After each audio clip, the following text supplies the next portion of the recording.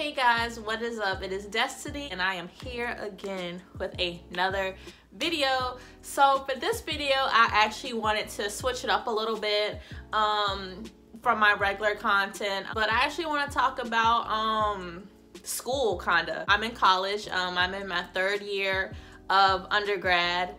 Um, I go to school for sonography and if you don't know what sonography is, um, sonography is the use of sound waves to like view anatomical images in the body.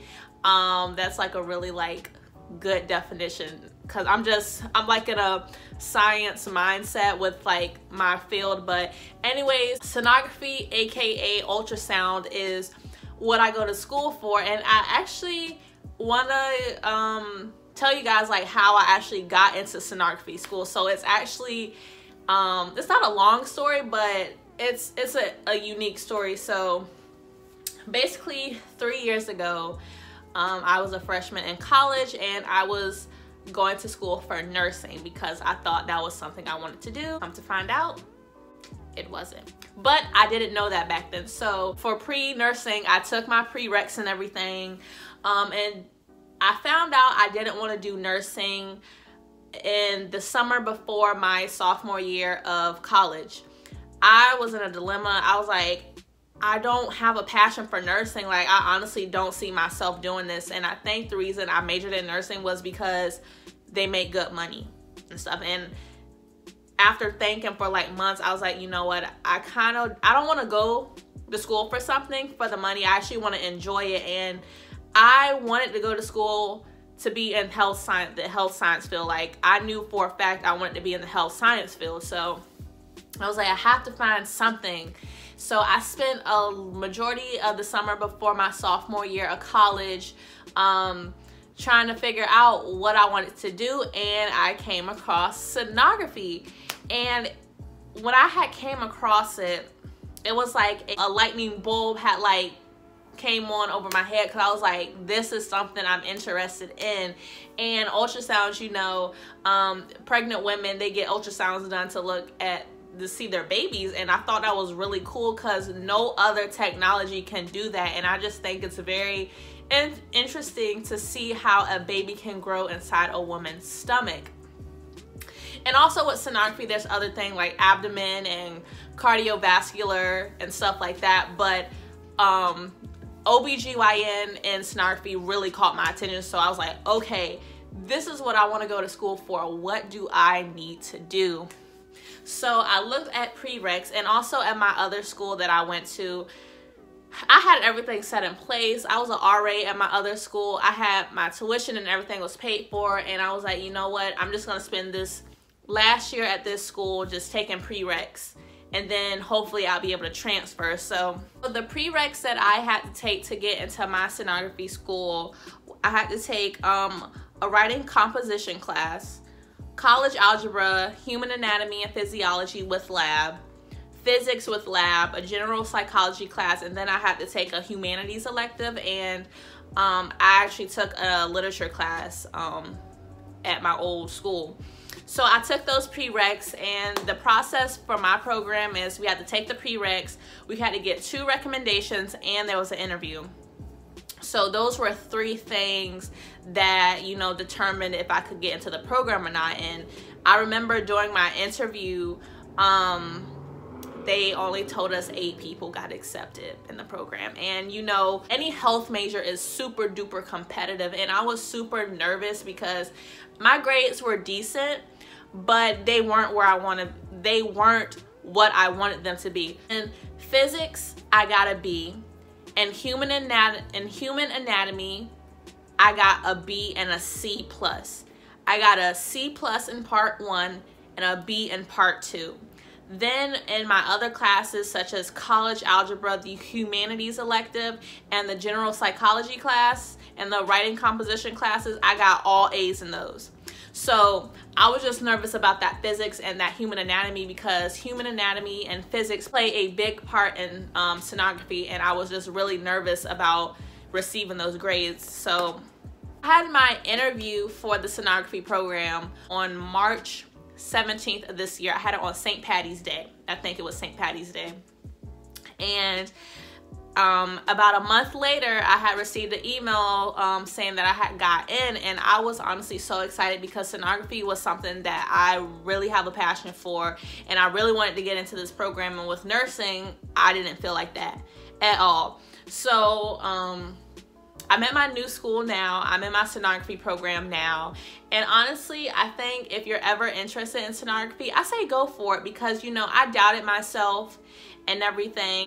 I just overthink a lot and you just got to be really confident because if I can get in with the grades that I did, then you can get in with your grades. I know with some sonography programs, they want you to have an A in all your classes. Different schools have different requirements for their sonography programs. Like I know some schools may require you to take an entrance an entrance exam they may require you to have background health care experience i actually go to a four-year college um, I, before I had made the decision to transfer, I was actually supposed to graduate in 2022, but my program is a three-year program, so I will be graduating in 2023. I know some community colleges offer sonography programs, like a lot of them are, you get an associate's degree, but I'm getting a bachelor's degree in sonography, but it all, it all depends on what school you go to. I had the option to go to a community college, um, for sonography, but their requirements were a little too much and I kind of didn't feel like I was going to get in and I didn't apply. So I only applied to one sonography program and I got in. I applied to one and I was one out of eight people that got accepted into the program. But with sonography prereqs, you just gotta, you really gotta be on your stuff. Like I was, I had took anatomy and physics the same semester and whew, that was a lot. I took, oh, and I took medical terminology the same semester.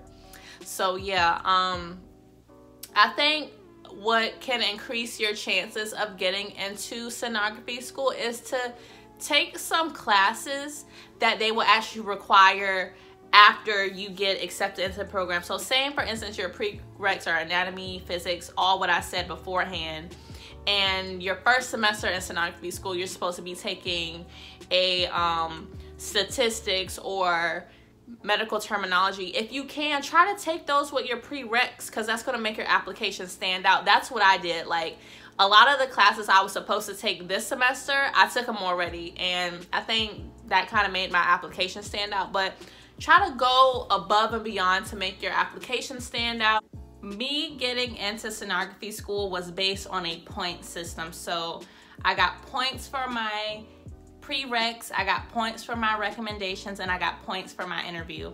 I don't know what my points were because they never told me, but they must have been good enough for me to get in my program.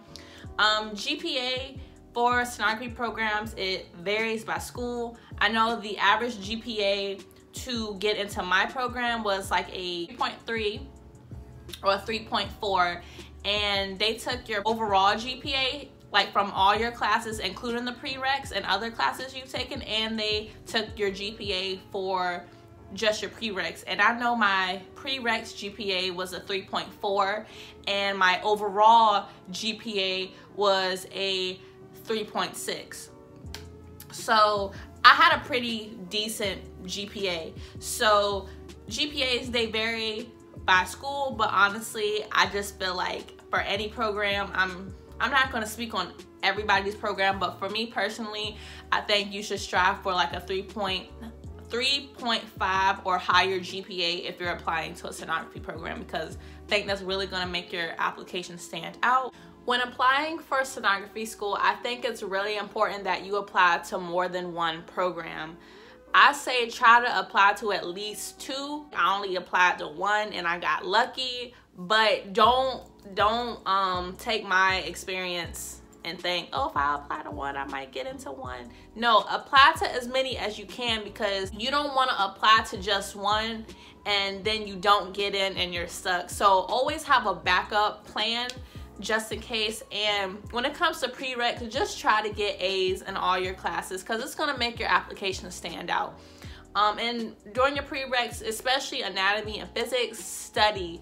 Um, anatomy, um, if I could go back in time, like I'm gonna be completely honest. In part one of anatomy, I just I did not study like I was supposed to. And that was in that C plus, that was the reason I got that grade because I did not study like I was supposed to. But and plus my professor was really hard. I had him for two semesters. He was very hard. But anyways, anatomy and physics, make sure you really study and understand the material because those play a big part in ultrasound.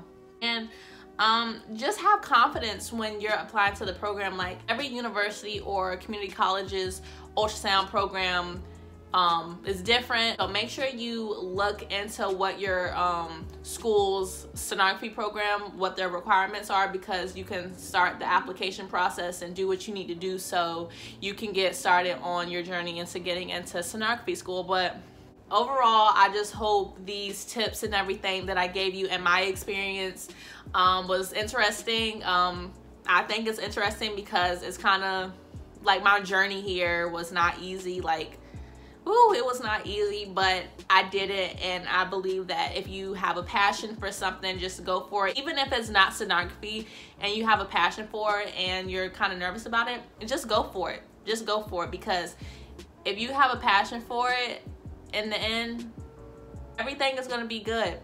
So I hope you guys enjoyed this video and please make sure you like, comment, and subscribe for more content and I will be back with another video. Bye y'all.